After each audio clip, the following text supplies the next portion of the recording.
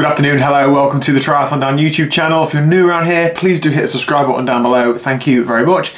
Before I go on, I need to say that the Send It Squad for 2023 applications are now open. They will remain open until New Year's Day, I think. We're going to start on the 4th of Jan, 12 and a half week training plan, social group training plan. The current cohort have had a lot of success. Don't take my word for it. I'll leave a link down below to the website feel free to have a read, talk to some people who've been on it. I'm really looking forward to getting started in the new year with some of the people, or most of the people who've been on this current one, and also hopefully some more of you guys and girls.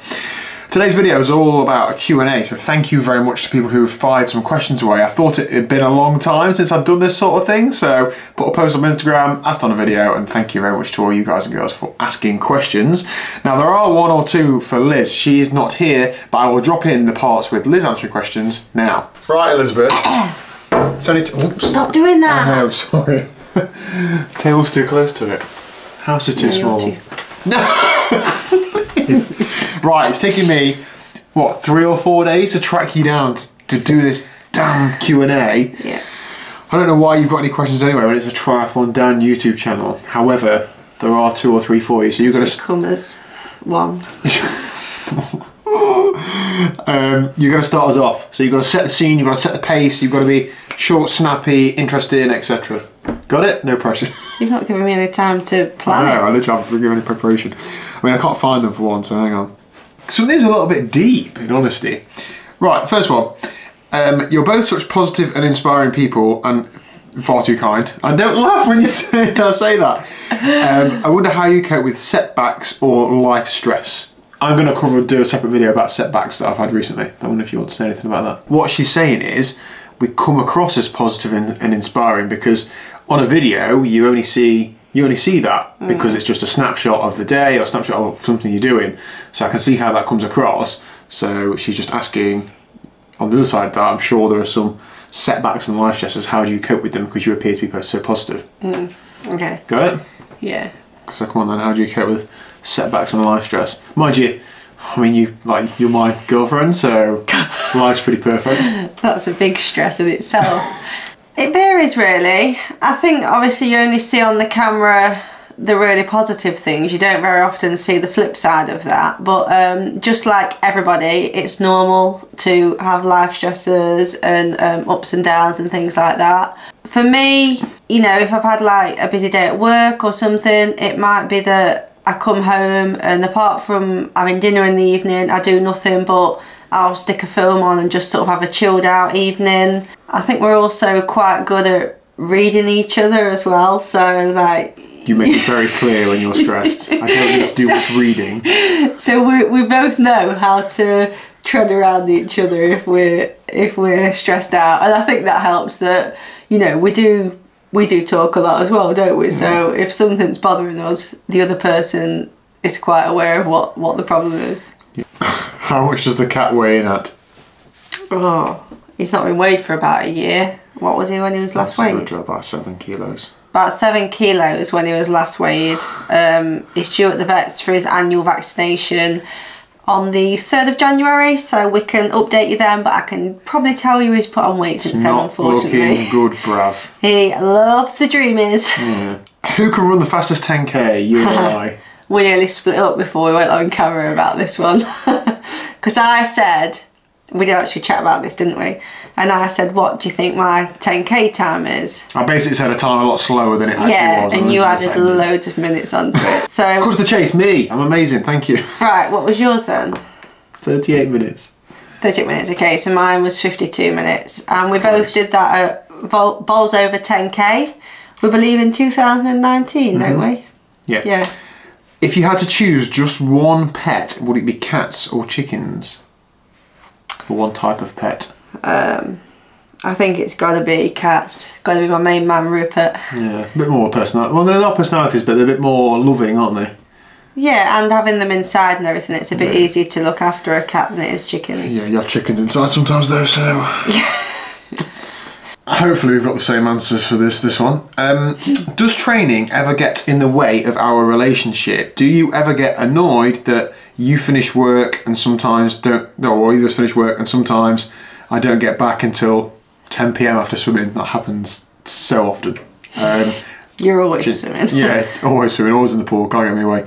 Uh, I suppose what the what the purpose of that question is. I seem to do a lot of training, which I think I do. Does that ever annoy you? And if so, how do you deal with it? So yeah, yeah, I've got a good answer for this one. yes, it does sometimes annoy me. I sometimes feel that if I'm sort of doing the cooking every single night and things like that, then it does annoy me. But I've kind of accepted now that I obviously you prioritise training a lot higher than I do, whereas I um, you know, I, I love obviously my animals. I love trying to keep the house nice. I love going out and doing things with family and friends as well. So therefore, training comes up here for you, and it probably comes like down here um, for me. So although I want to try and remain sort of fit and healthy, it's I'm not obsessed like you are. Um, but I don't feel that we could both be how you are because nothing in the house would ever get done. Like Yeah. while you're training, I'm doing your dinner, and then you know, or I do obviously the cleaning and things like that. So I've kind of accepted um, now that I don't do as much training because there's so many other things that I do enjoy doing as well. And it's like you could quite easily say, "Oh, leave the cleaning," but for me, I can't do that because I like cleaning. I enjoy it. I like having a nice house. Um, so I think I do sometimes feel frustrated if perhaps you're then saying to me, "Oh, you know, come on, shake a leg. You've not actually done any training recently or anything like that." Yeah. But I find it harder because I don't prioritise it as high up as what you do, whereas you put it literally up here.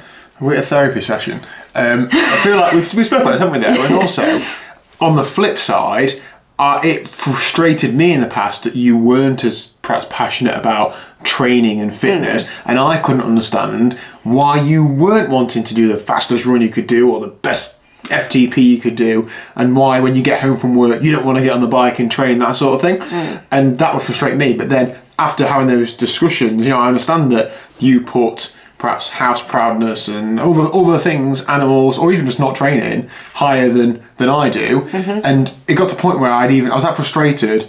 You know, frustrated when I offered to spend some money. I said, get a cleaner, didn't I? I just said, like, I don't care how much it costs, just get a cleaner. If that's the, the barrier between you doing the training to make you happy and healthy, because I know how happy and healthy I feel when I train, let's just get a cleaner and then we can go and do hmm. more of this activity stuff together. And you said, actually, no, that's not the point. You, although cleaning is a chore, that you enjoy being house proud, and that's almost, it's not a hobby, but it's something you feel passionate about and want to do, isn't Yeah. it? So, And it's probably because a while back we did have a cleaner. Mm. And I had a completely different job. So when I was a nursery manager, I used to do my own shift pattern every week and I used to obviously say, you know, doing it for the, the best for the nursery, but in reality I was also thinking about how my training was going to map out for that week. So Perfect. I'd regularly, I'd give myself like a couple of longer days where I'd Yeah. work half seven till six and they'd be my rest days and then I'd have a one o'clock finish one day I'd then be out on the bike in the afternoon or I'd have a 10am start I'd go for my run in the morning sounds great.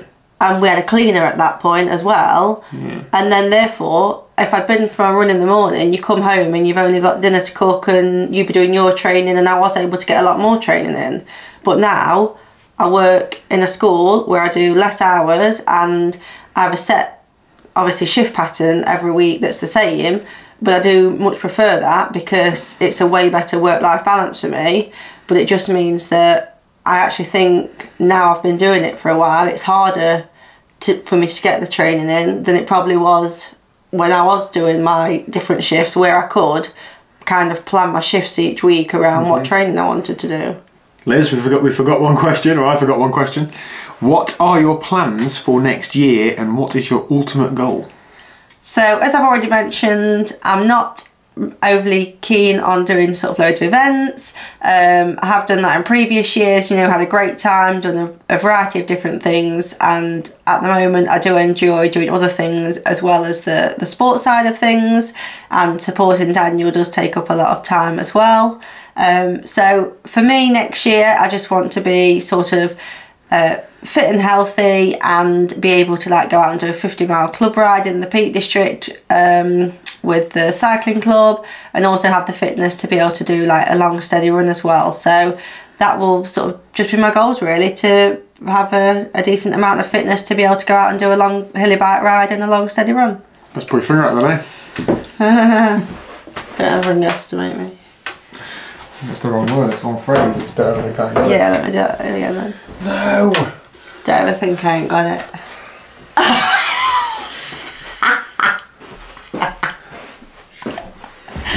Okay, so hopefully Liz has set the scene for us there. Now, there are quite a few, so I'm going to try and rattle through and not spend too long on any one question.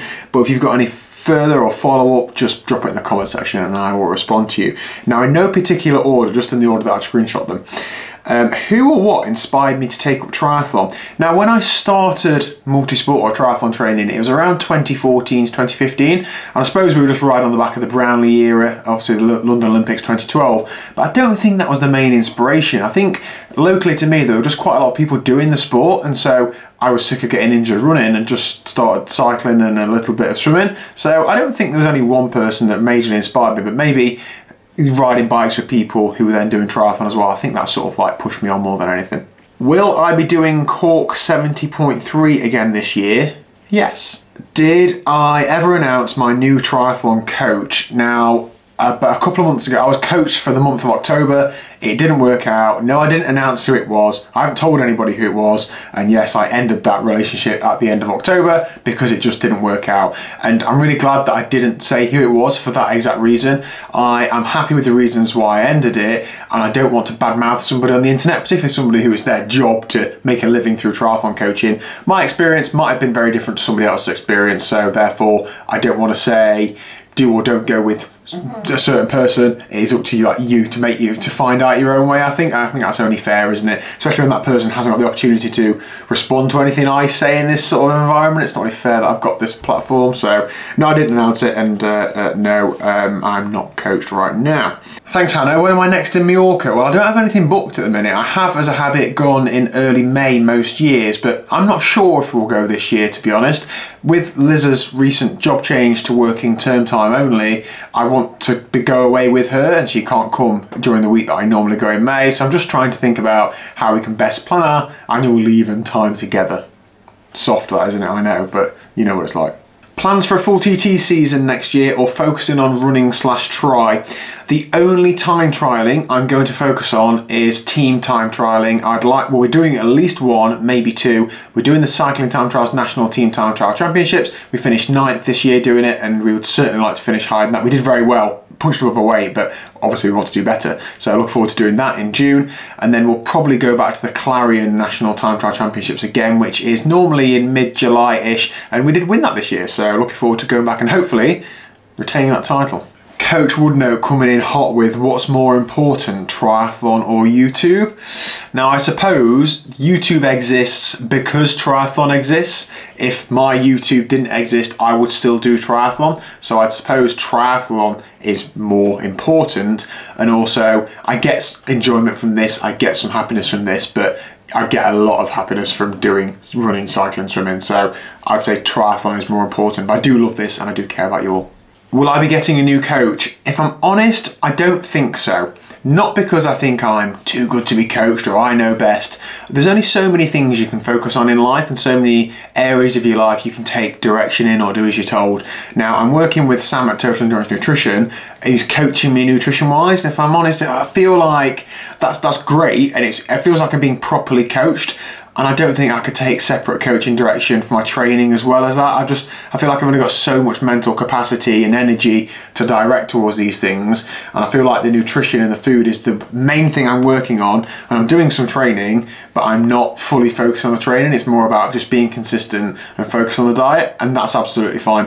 I think if I get to a point where I'm happy with my body composition and my eating habits, then uh, the idea is that I'm then, then able to do my own nutrition myself. But at that point, I might consider a triathlon coach, but I'm certainly not. And it's one of the most popular things I get messaged is people who are coaches either offering their services for free or discounted or just offering them in general, and I'm so so grateful for it. And I, I feel sorry when I say no to people, but I just I just can't take on that that capacity at the minute. And I, even the thought of having to have like a consultation call and then like a check-in every week or fortnight or something. I just don't have the time for it. I, I've been doing triathlon a few years now, so I've got a vague idea of what to do. I think a pretty good idea and understand my own body, so um, I think I'm doing okay as I, as I am and I will just continue to do some good training. I certainly take uh, tips and advice from Coach Woodnow and other people who I come across, so um, yeah, we'll see how we go, but no, not at the minute. AG1 yes or no? No, I did have to Google what this is, Rob, and I understand this to be like a supplement for greens or something. Now, I'm not, I've never used it, so I'm not going to badmouth it. However, what I will say is I pay a nutritionist to tell me what to eat, and he's never said supplement with that sort of stuff. So um, if it works for you, then it works for you. It works for anybody, then fine. But I, I don't think it's necessary for me, and I've got no plans to start taking it. In an ideal world, what is your ultimate goal in triathlon? Thank you for the question. And I think sometimes I come across like, or I think I come across like, oh, performance doesn't matter, I'm just here to have a good time. And that is true, but I think it is good to have goals. I try and focus on input goals rather than output goals. So focus on running several times a week rather than, oh, I want to run a whatever time half marathon, that sort of thing but I think it is good to have a goal. Now, I like goals to be a like a stretch goal, so realistically, are you going to meet that goal? Probably not, but I couldn't sit here and say I'd like to win the Ironman World Championships because obviously that's probably not going to happen, whereas something that is perhaps just out of reach, but not ridiculous could be good so my ultimate goal i think is so my like long distance triathlon journey started at outlaw events i did outlaw half nottingham in 2016 done all of them since then, done loads of outlaw events. Now, some of the outlaw events are championship races like the British Middle Distance Champs. Uh, the Outlaw Nottingham Half is a pathway event or gateway event to a pro license, so it gets a good field. So I'm never going to win them. However, I would love to win an outlaw event which isn't a championship race of any kind. So, for example, Outlaw X in 2023 isn't a championship race of any kind, it's still probably going to be a good race and it's still probably going to attract some good athletes who would beat me. But that to me appeals to me as a, do you know what, it's not absolutely bonkers to think about if you had the perfect day or made the right improvements that you could maybe not win, but you know, like come in the top 10 or top five, you know, something like that, you know, get some sort of notable result at a fairly sized race, but when the when the right field is there and so on. So yeah, I think performing well at an outlaw event and being in a notable position would probably be, my ultimate goal. Only a couple to go now. Does a treadmill run count if you achieved a new PB while doing it? No, in my opinion. And TT Wheels, uh, story about Hunt disc purchase that fell through. Right, again, I'm not bad mouthing the company at all because actually Hunt's customer service were very good and they rectified the problem as best as they could.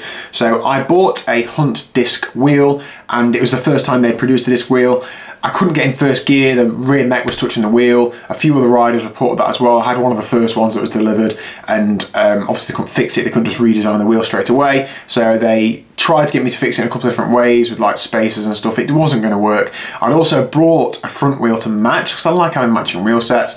And um, when it became apparent that I, this wasn't going to work, I just sort of said, you know, I, I, can't use this wheel. They offered to refund me on both wheels and obviously I had to send them back. So that's what I did. So we didn't fall out in any way. Yes, I was disappointed that the wheel didn't work and I think that they probably should have tested that wheel with a range of group sets and bikes. And I'm sure they probably did, but there's, you can't test it in every eventuality. So that meant then that I then had no wheels. So then I started using Blizzard's wheels, which was a Zipp 404 front and an 808 rear with an easy disc on.